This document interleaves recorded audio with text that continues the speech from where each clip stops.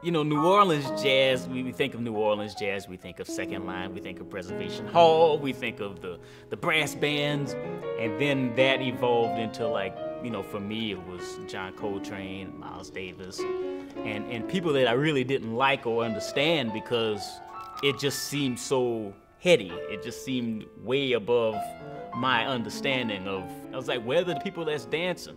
Where's the, where the lyrics? Where's the, you know what I mean? But what attracted me to it was that it was complicated. I had a teacher that told me, he said, don't come, don't come from it, don't come to the music trying to learn how to do it. Approach John Coltrane the way you would approach a Picasso painting. Just look at it, admire it, and then move on. And then maybe you'll start to see now these lines are starting to kind of make sense together. Pace yourself, take your time while you're listening to it.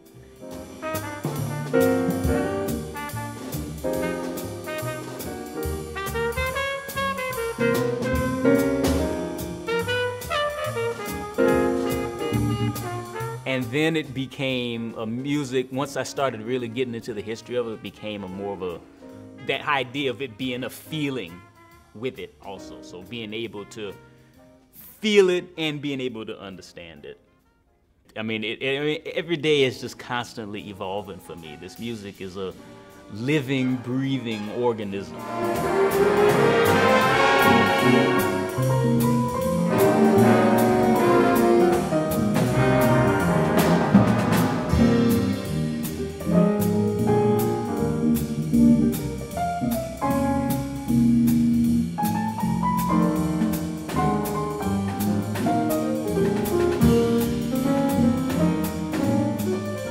Primarily in this concert, I play the upright bass, which is sort of the big wooden thing that sits in the middle of uh, the ensemble behind the piano.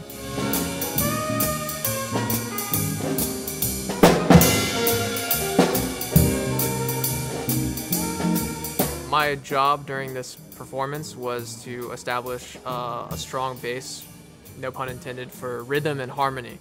Uh, so making sure the group plays in time and in tune at the same time. What it's really about is balance with the rhythm section and the piano playing the melody and the band. What, that's where I'm really trying to get to. Right now, I feel like everything's just at this volume of loudness right now. And I want you, I want this rhythm section to really feel the dance of this.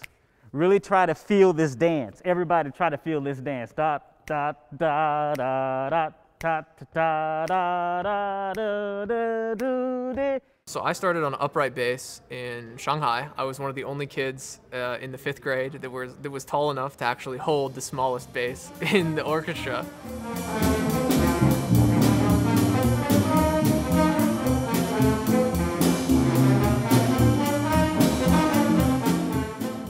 And I started an orchestra, and then a year after I moved back to the United States.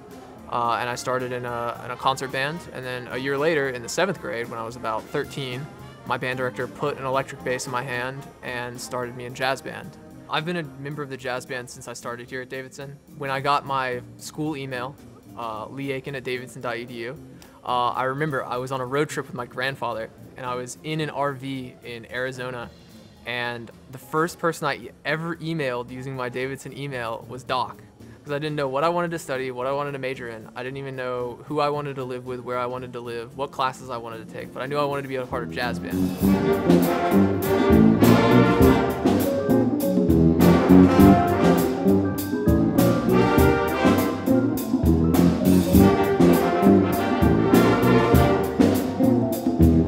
One of the things that I have a hard time with as a piano player is looking like I'm getting ready to play the piano when I play.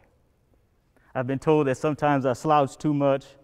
Sometimes I, you know, cross my feet when I play. I do all kinds of funny things, you know. You know, there's no way that you'll be able to swing like this.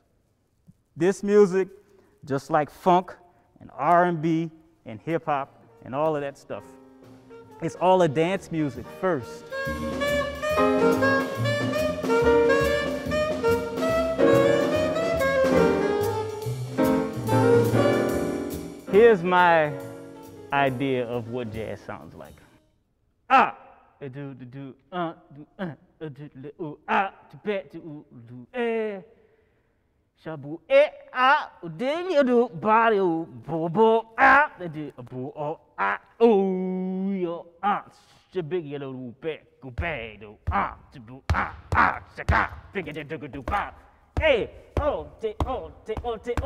Any ideas of what I was doing? What are the elements that were there?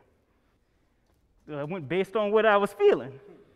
Coming into Davidson, it was actually kind of my first exposure to real jazz music. Um, and at first, it was a little weird because I'd never been exposed to like playing music of this caliber. Uh, and it was definitely above my skill level coming in. Um, but you know, with, with hard work and um, getting used to it, you come to really appreciate this kind of music. And it, it's really something that I had not experienced before coming here.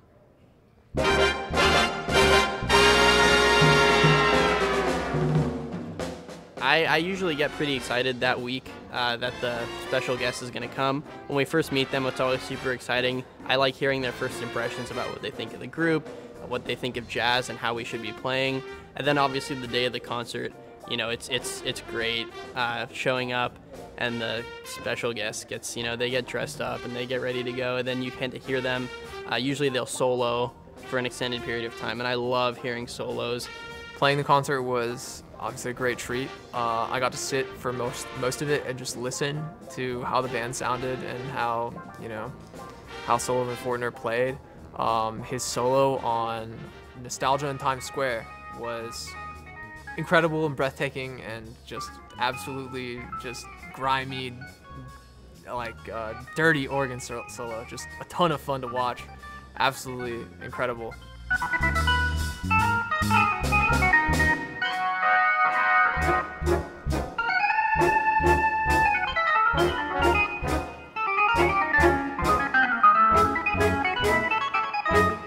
I'm looking forward to the concert. I think that we got a good program.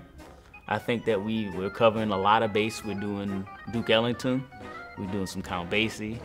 We're doing some Oliver Nelson, Herbie Hancock.